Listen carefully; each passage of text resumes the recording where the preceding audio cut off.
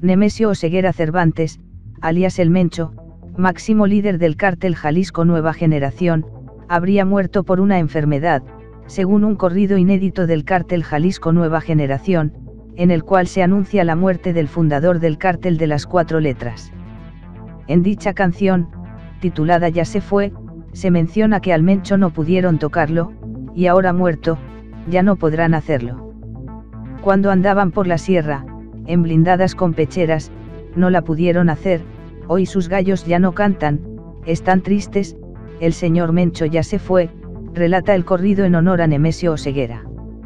Cabe recordar que medios especializados en narcotráfico, aseguran que el Mencho padecía de insuficiencia renal, lo cual pudo haber sido la causa de su muerte. Incluso, se habla de que el señor de los gallos, había mandado a construir hospitales en la sierra de Jalisco, para tratar su enfermedad.